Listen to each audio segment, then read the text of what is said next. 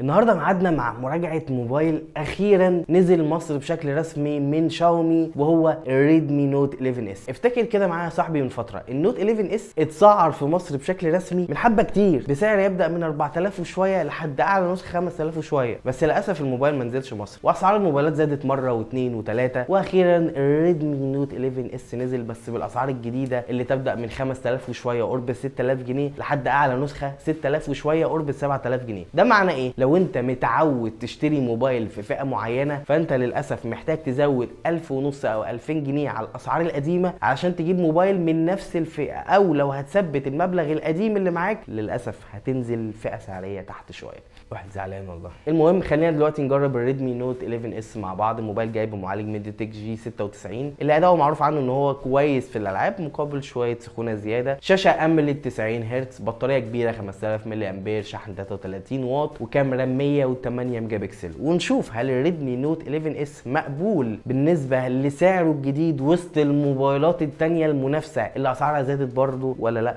ما تنساش بقى زي ما أنت متعود. ال like الجميل ويلا بينا نبدأ المراجعة.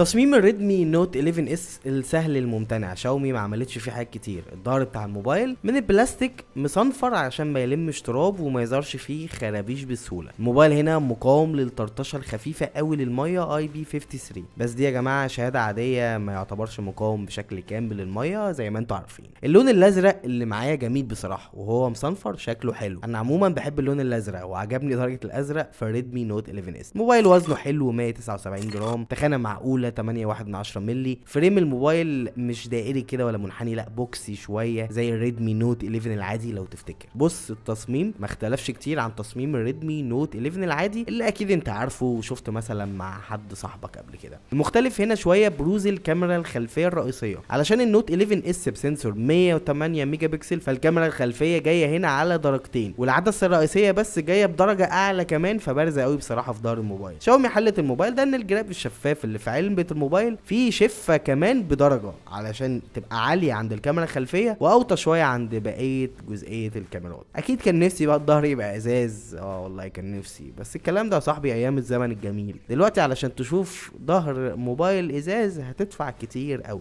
الشاشة بتاعت الريدمي نوت 11 إس بحجم 6.43 بوصة من نوع AMOLED بدقة Full HD Plus بتردد 90 هرتز بثقب صغير للسيلفي. الشاشة دي هي نفس شاشة الريدمي نوت 11 العادي مفيش تغيير. طيب وهي شاشة النوت 11 العادي كانت وحشة. لا خالص هي كانت كويسة. والنوت 11 اس ما زالت شاشته تعتبر كويسة. كان نفسي مثلا شاومي تخلي الشاشة دي 120 هرتز مثلا لأن المعالج اللي هنا يقدر يشغل ال 120 هرتز عادي. بس طبعا شاومي بتخلي ميزة ال 120 هرتز حصرية على فئة البرو من النوت. سطوع الشاشة هنا كويس تحت الشمس والألوان كويسة ومشبعة وتقدر تتحكم في درجة تشبع ألوان الشاشة على مزاجك من setting الموبايل. الشاشة هنا عليها حماية جوريلا الجيل الثالث وهتلاقي الموبايل جاي في العلبة متركب عليه screen. نيجي للمعالج. بص أنا زهقت من كلمة معالج سناب دراجون 680 اللي بشوفها في كل حتة دي. لا يا باشا هنا ريدمي نوت 11 اس جايبه معالج ميديا تك جي 96 تكنولوجيا 12 نانو. معالج مش جديد علينا معالج أداؤه قوي وأعلى من السناب دراجون 680 بس على حساب استهلاك البطارية الأعلى والسخونة الأعلى. أعتقد دي معلومة مش جديدة عليكم كلكم عارفينها. شاومي معودانا من السنة اللي فاتت بتحط في فئة الاس من النوت معالج نشيط من ميديا تك يكون اختيار أفضل لل gamers وهي مكملة على ده السنة دي. واحد هيجي دلوقتي ويسألني يقول لي طب ما أجيب يا عم بوكو إكس 3 برو ولا بوكو إكس 3 جي تي ولا بوكو إف 3 حتى؟ لو أنا عاوز ألعاب. هقول له والله آه. عندك حق. لو لقيتهم بسعر مناسب أكيد هيكونوا أفضل معاك في الألعاب وبمعالجات أقوى بكتير. لأن الموبايلات دي حرفيا كانت غلطة ومش عايز أزعلك وأقول لك شوية ومش هتلاقي أي حاجة منها متاحة في السوق. على مستوى الريدمي نوت 11 إس بقى فالأداء الفعلي معقول بس أنا عندي تعليق إن شاومي هنا حاطة كل animation الواجهة بتاعتها مش مخففاها زي ما شفنا في الريدمي نوت 11 العادي. وده محسسني بشوية تقطيعات أو نتشات خفيفة كده بتحصل كل فين وفين في واجهة الموبايل. وأنا أحب أوجه رسالة لشاومي عجبنا حركة تخفيف ال animation. يا ريت تخلوا ده الطبيعي بتاع الواجهة بتاعتكم في الموبايلات بتاعة الفئة المتوسطة والفئة الاقتصادية. الاداء الرسومي في النوت 11 اس كويس. ببجي بتشتغل على high graphic واللعبة بتشتغل كويس جدا. ودي حاجة بقالي كتير ما قلتهاش. أنا كل شوية أقول medium graphic جه الزمن اللي الموبايل ب 6000 جنيه وشوية. نقول كويس إن الجرافيك على high يلا ما علينا. بصمة الموبايل هنا على زرار ال power هي سريعة بس بيحصل تجميع سريع لأيقونات الواجهة. أتمنى يتلغي يا شاومي. وال face unlock برده سرعته كويسة جدا. الموبايل هنا جايب بال MIUI 13 المبني على اندرويد 11 واتمنى من شاومي تعجل من نزول موبايلاتها الجديدة باندرويد 12 مش هيبقى موبايلات غالية وكمان اندرويد قديم. ما سامسونج عملتها ونزلت الاندرويد 12 خلاص. الموبايل هنا للأسف ما فيهوش NFC. الميزة دي مش عارف الشركات مش بتهتم بيها ليه. بس في sensor IR علشان تخلي الموبايل ريموت. في مايك إضافي لعزل الدوشة. وفي مدخل سماعات 3.5 مللي من فوق. وفي برضه صوت ستيريو. هو مش أعلى ستيريو شفته من شاومي قبل كده بس الصوت درجته حلوة وعالي. مستشعر بقى المقاربة بتاع المكالمات software لأنه برضه بيعلق. وده بقى عيب ثابت بقوله في معظم أجهزة شاومي اللي بجربها هو ال sensor هنا مش كارثة بس مش أحسن حاجة. شبكات الواي فاي والاتصال كانت كويسة معايا في تجربتي ليها زي ما كانت كويسة معايا في النوت 11 العادي. فلو انت جربت النوت 11 العادي في الشبكة يا ريت ضروري تكتب لي تقييمك في comment الموضوع ده يهمني جدا. بطارية الريدمي نوت 11 اس 5000 ملي أمبير. أيوه زي بطارية النوت 11 العادي بالظبط. بس الأداء الفعلي في الريدمي نوت 11 اس للبطارية أقل شوية من النوت 11 العادي. ليه بقى؟ لأن أنا قلت لك من شوية. معالج الريدمي نوت 11 إس الميديا تك جي 96 بيسحب بطارية أعلى شوية من السناب دراجون 680 الموجود في الريدمي نوت 11 العادي. فالكلام ده هتحسه لو هتقل في استخدامك على الجهاز. يعني من الآخر لو النوت 11 العادي بيقعد 8 ساعات في الشحنة الواحدة باستخدام متوسط فبنفس الاستخدام ده ال 11 إس هيقعد 6 ساعات ونص 7 ساعات بكتير. مش وحش برضه. ومعاك شاحن 33 واط في علبة الموبايل بيشحن البطارية في ساعة تقريبا. وكويس الحمد لله إن الشاحن السريع في العلبة. ما عنديش comment خالص على موضوع الشاحن ده. الكاميرات بقى الكاميرا الخلفية هنا 108 ميجا بكسل فتحه عدسه 1.9 مع عدسة تانية ultra wide 8 ميجا بكسل فتحه عدسه 2.2 والثالثه 2 ميجا بكسل macro والرابعة 2 ميجا بكسل للعزل. والسيلفي هنا 16 ميجا بكسل فتحه عدسه 2.5 خلينا نشوف الصور على طول. الكاميرا الخلفية اتحسنت في النوت 11 إس عن النوت 10 إس القديم بفضل استخدام sensor أفضل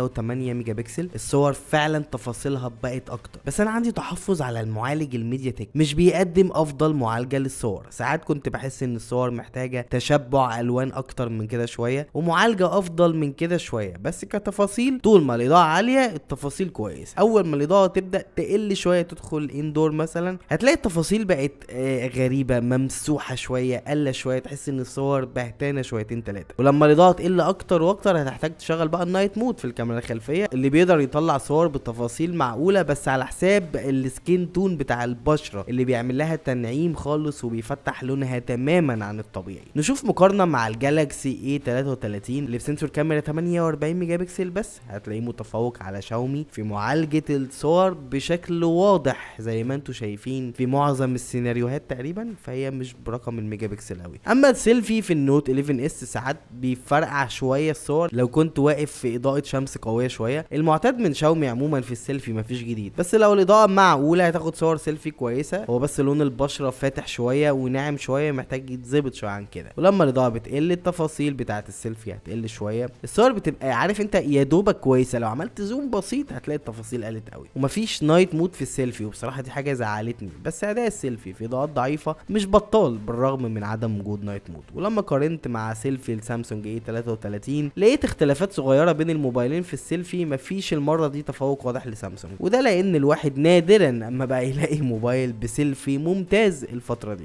أسيبكم مع تصوير الفيديوهات. بالنسبة لتصوير الفيديوهات بال Redmi Note 11 S فالموبايل للأسف آخره تصوير الفيديوهات على 1080 بس. لأن المعالج ال MediaTek G 96 آخره في تصوير الفيديوهات على 1080 وده المعالج المستخدم في Redmi Note 11 S. فأكيد طبعا أنا متضايق شوية إن الموبايل ب 6000 وشوية مش بيدعم تصوير 4K بس واضح كده إن ده اللي هنشوفه الفترة اللي جاية في معظم الموبايلات. يلا ما علينا المهم نختبر جودة التصوير دلوقتي. أنا بصور على 1080 هنختبر الثبات. الموبايل فيه جيروسكوب عن طريقه الفيديو بيتثبت. فنشوف جودة الثبات وأنا بتمشى بطريق آه، دوشة وهواء علشان نختبر برضو جودة المايك لأن في مايك إضافي لعزل الدوشة. ونشوف جودة التفاصيل وألوان الفيديو. آه، بعيني على شاشة الموبايل شايف الألوان فاتحة ورايحة ناحية ال cold أو إنها تبقى مزرقة أكتر. هل ده ممكن يكون ناتج من شاشة الموبايل؟ إنما الفيديو الحقيقي مختلف عن كده. آه ممكن. وده هنشوفه في الفيديو النهائي مع بعض على شاشة مختلفة.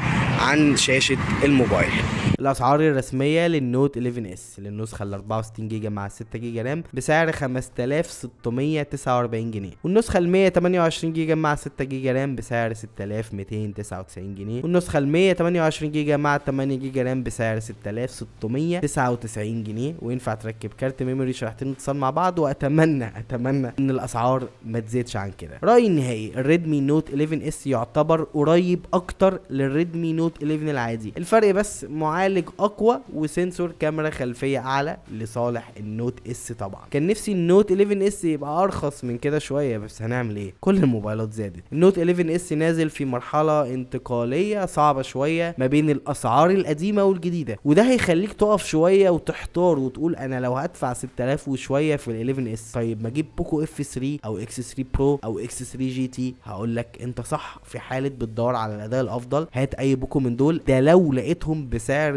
كويس. أو أقول لك على حاجة ممكن تجيب ال Note 10 Pro القديم هيقدم لك تجربة أحسن شوية من ال 11 S في وجهة نظري. ده في حالة برضه إنك لقيت ال Note 10 Pro بسعر معقول. فالموضوع دلوقتي للأسف فيه تضارب كبير في الموبايلات بسبب الأسعار. وهناخد فترة محترمة على ما نتعود على الأسعار الجديدة ويبقى خلاص المتاح في السوق الأجيال الجديدة من كل الموبايلات. النوت 11 اس موبايل معقول من ناحية الأداء من ناحية الشاشة من ناحية الصوت والبطارية والشحن. كان نفسي بس تجربة الكاميرا الخلفية تكون أحسن من كده شوية تناسب موبايل داخل على 7000 جنيه وكان نفسي يكون فيه مستشعر مقاربة. حقيقي. وأكيد كان نفسي يكون في NFC بس كده أنا خلصت. ما تنساش قبل ما تقفل الفيديو ضروري تكتب لي comment وتقول لي إيه رأيك في Redmi Note 11 S وهل أنت شايفه موبايل مناسب في ظل الأسعار الجديدة ولا لأ؟ وأكيد تعمل like الجميل عملتش في الأول وتتأكد إن أنت عامل لنا subscribe لو بتشوفنا على اليوتيوب. follow لو بتشوفنا على الفيسبوك. واستنى مراجعة ال Galaxy A 33 قريب جدا. كان معاكم أحمد سعيد.